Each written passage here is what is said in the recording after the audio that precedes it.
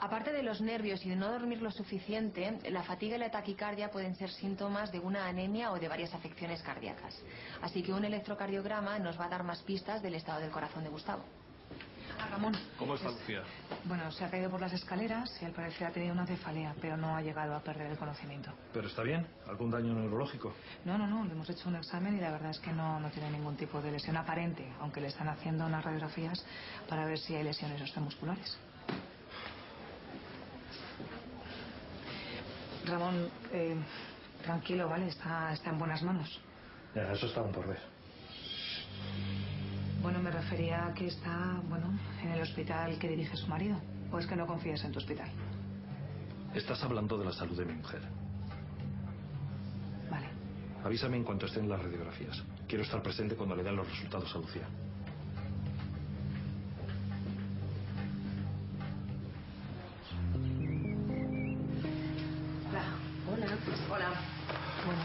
Hay lesiones, ¿eh?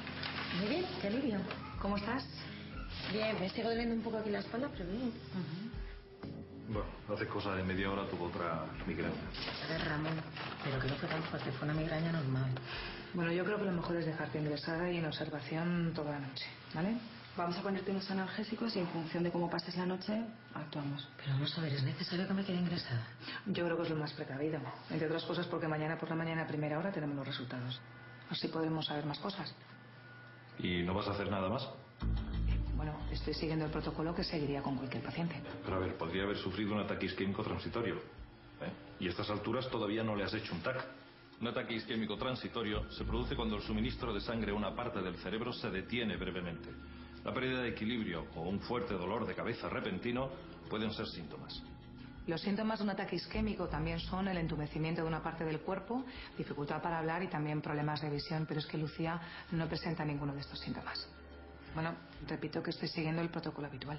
Natalia, soy médico y el director de este hospital, así que no me hables de protocolos. Si digo que se hacen más pruebas, ya se hacen más pruebas. Usted lo que es es el marido de una paciente en este momento.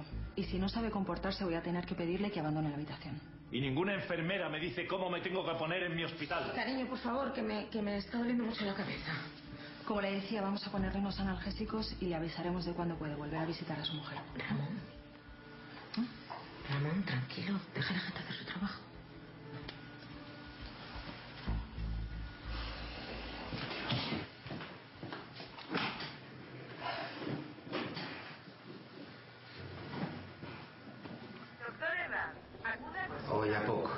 Geografía, Río de la... Gustavo, el concursante profesional, está esperando los resultados de su electrocardiograma. La doctora Rey sospecha que su taquicardia y el cansancio están causados por un exceso de café. Perdón, perdona, perdona, eh, que, que es que estaba estudiando. Estudiando. Sí, eh, a ver, como lo entiendo yo, estudiar significa que requiere un esfuerzo para que entiendas los conceptos y los memorices.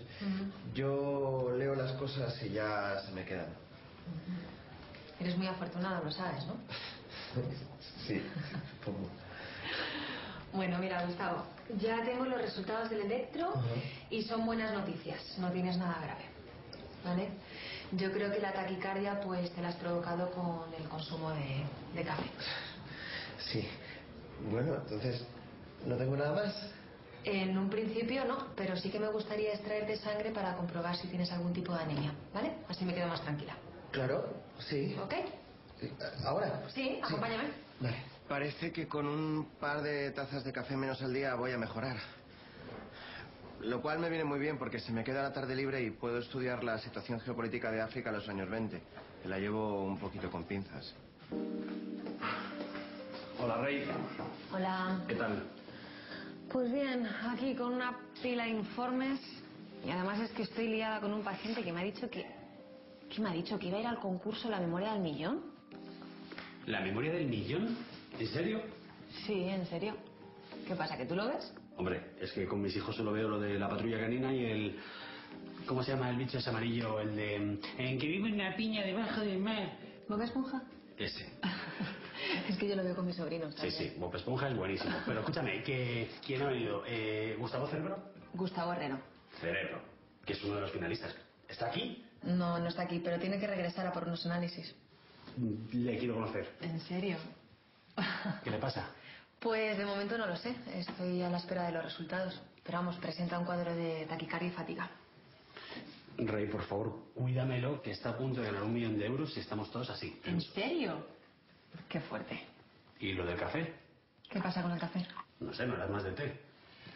Pues sí, ya sabes que yo soy más de infusiones, pero es que, no sé, estoy como un poquito cansada últimamente. El café no es bueno para la diabetes. Y lo sabes. Gustavo Cerebro. ¡Buah! Me encanta. ¿Cómo estás? Bueno, mejor. Con todas las drogas que me han puesto, estoy intentando adelantar un poco de trabajo porque tengo un jefe que es bastante exigente, ¿sabes? Y de vez en cuando pierde bastante los nervios. Ya, cariño, bueno, lo siento, siento lo de antes. No, no sé, es que pensar que te puede pasar algo malo me, me pierdo, me pierdo. No, es que no, es lo a mí, no es a mí a quien tienes que pedir perdón. Se lo tienes que pedir a Natalia y a Pepa. Bueno, bueno, eso es otra cuestión. Además, no sé si Natalia es la doctora indicada para llevar tu caso. Ni nadie de este hospital. Mira, voy a llamar a un amigo mío de Barcelona, un especialista en cefaleas, ¿vale? Para que venga a verte. Pero bueno, vamos a ver. ¿Natalia ha hecho algo hasta ahora que no hubiera hecho un buen médico? No, no, nada, no, pero vamos, que ese no es el caso. No, no, es que sí es el caso.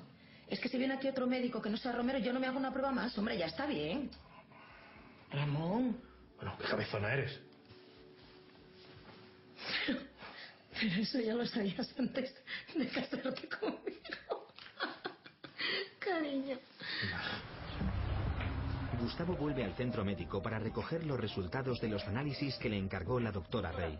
Sin embargo, lo que a él le preocupa es lo que le ha salido en el brazo. Tengo, tengo una cosa en el brazo, una roncha, un... Escucha, tranquilo, Gustavo. No, tranquilo, ¿qué? ¿Qué? Tranquilo, pasa, pasa. Sí, pasa. no sé lo que es. Es una cosa muy asquerosa y no he querido ni siquiera ponerme a investigar porque me vuelvo loco yo solo.